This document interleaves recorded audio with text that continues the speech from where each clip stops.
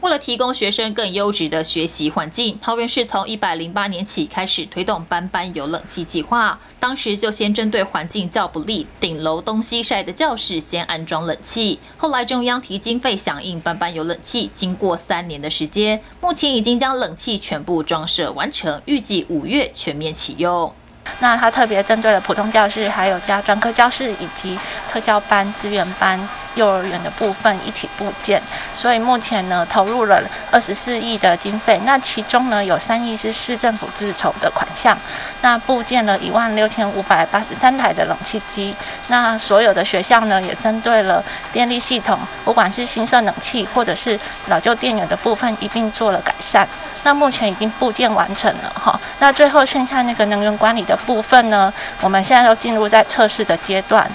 学生有冷气可以吹，但也有很多家长担心电费问题。夏季电费高涨，这笔钱究竟是学生自费还是由政府支出？教育局表示，中央每年会编列经费补助，以后国中小的冷气电费就不会再向家长收取。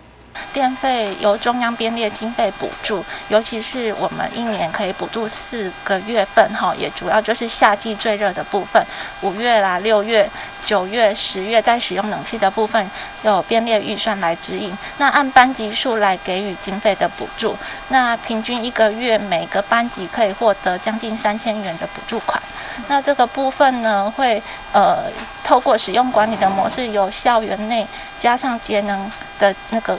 课程设计来管控使用。